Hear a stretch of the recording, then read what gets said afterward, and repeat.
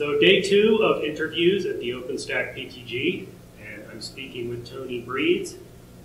If you could introduce yourself, tell us who you work for and what projects you work on, that would be a good place to start. Sure. Uh, my name is Tony Breeds, as Rich just said. Um, I'm the current stable PTL. I'm a little bit loud and annoying, so I tend to work on a lot of projects. Um, this being stable PTL means I touch the stable branches of a lot of projects. I have to work closely with the infrastructure team, so I've got a good understanding of Zuul and Jenkins and Project Config, although that understanding is going to change with the Zuul v3 work. Um, I came into OpenStack as a Nova developer, and that's kind of where my heart is, but it's actually the thing I touch the least these days. Uh, did I say I work for Red Hat? If I didn't. I think you did, yeah. So let's start with um, the, the stable branch maintenance. Tell us what that means. All right, so OpenStack has a much longer life cycle than the six-month development life cycle, right? Uh, and originally the stable branch came from distributors that wanted to have a place in the community. They're totally good community citizens. They wanted to have a place in the community that they could collaborate on backporting of patches and bug fixes and security releases and all that sort of stuff. Um, and my job really is to help the project teams understand what is and maybe isn't an appropriate thing to backport, like changing your config file between a minor release of your project is probably going to hurt deployers and operators. Um, adding new features is probably not good for code stability. So it's there's a little bit of project education in there. There's a little bit of project wrangling. Um, and really, it's just about making sure that OpenStack as a whole um, continues to work. Um, there's always contention about we keep it around for we keep two stable branches around. Um, maybe we could keep more, maybe we could keep them around for longer than 12 months in total. Um, that's always a topic for conversation. It's a fun topic. And then, of course, various vendors might have a stable branch that, that lives for, for years and years, and I know a number of them do. Yeah, that, that's right. Um, vendors do tend to have stable branches that last beyond what we do in the community, and that's where some of the um, tension comes from, right? They would like to be able to do, continue to do the collaboration in the community for longer than the community has the resources to maintain.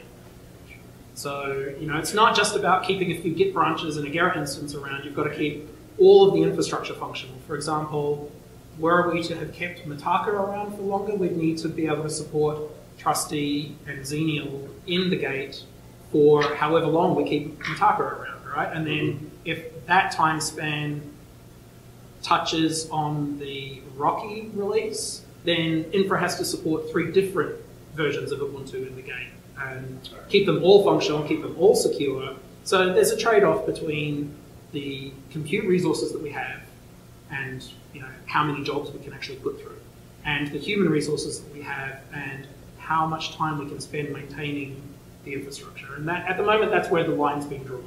We found two branches for six months. Uh, for 12 months total is about all we can maintain, but with more time and uh, resources, we could definitely do better.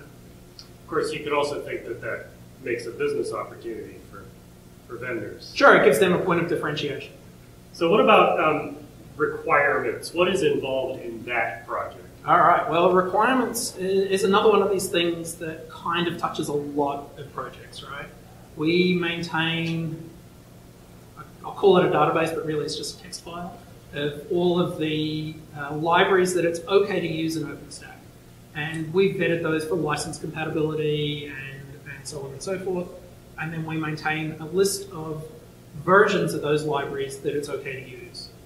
Uh, so that should you grab uh, Neutron and Nova and Heat, they all have, I wouldn't say identical because pragmatism, they don't always get it right all the time, but they have a level of guarantee that they're going to be able to be installed on the same box without using technologies like virtualenvs and containers to isolate the services. So you can re have reasonable confidence that you can get your services on there and not find that one of them needs a version of a library that the other one has explicitly excluded, and then you can't have them on the same box. So again, there's a lot of team education like there is with the stable branch, um, and a lot of automation and scripting, gate infrastructure and stuff like that. Does the move to containers make that less important, or is it still is it still critical going forward?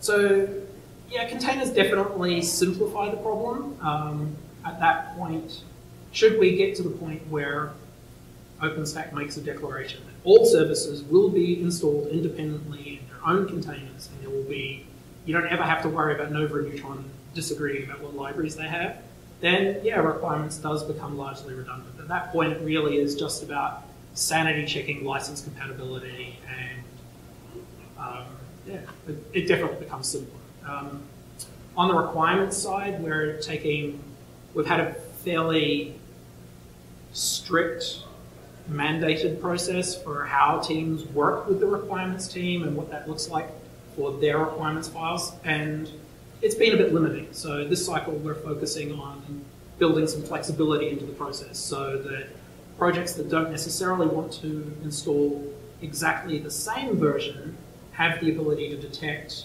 co-installable versions. So the end game is still the same, it's just the implementation is more flexible. What did you get done during PIPE? Is, is your job just maintenance, or are you are you implementing new things? Um, yeah, it's basically maintenance. But in order to do that maintenance efficiently, I spend a lot of time writing tools for myself and other people to consume to track our progress. Right. Um, for instance, one of the things we do on the stable team is at the end of a branch's life cycle, we have to go around and clean it up, right? So I write, write tools to work out whether a project has a lot of changes that need to get merged before we end of life their branch, and if we end of life their branch, what the repercussions for the gate are, and um, if project A has an undeclared dependency on project B, and we remove project B but not project A, what that's going to look like. Is it going to break? Does it need to address it in tests or whatever? So I did get to scratch that development itch by writing tools for myself and other people to consume. So those tools, and you know, I've wondered this about things like Zuul that are incredibly complex, but the, the tools that you're doing, are they OpenStack specific or are they things that, that can be of general interest to other projects? Because this isn't a, a problem that's unique to us. No, absolutely not. But sadly, our implementation is a little bit different to everybody else's. And I think that's going to be the same for any project, right? So um, the tools are specific to OpenStack in that they consume data and um, uh, obtain state based on the context of an, a project within OpenStack, right? So like, we definitely have a stable slash series branch, right? So I can, from that I know what release that was and I can make further predictions on when it's going to go away and stuff like that. And uh, looking forward to Queens, is there anything that you're going to be focused on in the, in the coming cycle? Yeah, so um, I am actually looking forward to Queens. Um, I mentioned at the beginning, um, I'm, I'm currently only the, the, stable PTL. Last cycle I was also the requirements PTL. Uh, so I've got a little bit of extra free time there, right? Um, I recently uh, switched employers to Red Hat, and what we're focusing on there is enabling multi-architecture cloud. So you don't have to just have uh, x86 or PowerPC in your cloud environment, you can now mix them. Um, so I'm looking forward to making that a reality and some of the challenges I'm going to face. Um, if, uh, if somebody wanted to be involved with your work, I mean, is this a one-person show, or, or, are you looking for for uh, other people to contribute? To I, am always looking for other people. So where do we go to find out about it and to, uh, to raise our hand? raise your hand, you jump on the OpenStack stable IRC channel. Uh, it's a bit sparse, tends to, if, if you get on there during Australian business hours, you're likely to find me. Um, if you get on there while I'm asleep, you're likely to have to wait for me to reply until I come back. Um, but yeah, we're definitely looking for people that are willing to do the reviews uh, and understand the stable policy and process, uh, particularly if you've got good or can obtain good infrastructure skills because really the stable job ends up being a lot about infrastructure. All right, thanks a lot. And I guess I'll see you in Sydney. Absolutely.